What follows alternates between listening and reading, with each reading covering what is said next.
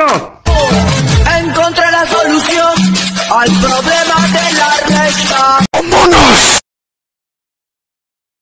¡Vámonos!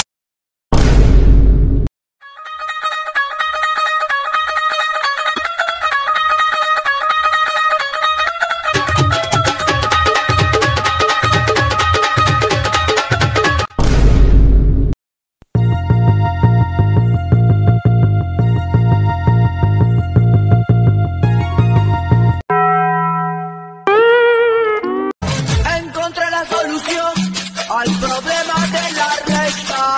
Me mantengo en la joda borracha.